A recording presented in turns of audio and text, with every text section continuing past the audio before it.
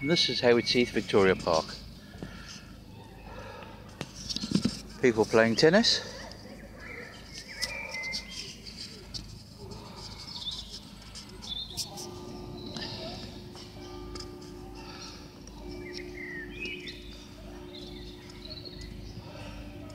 And the fair is in town.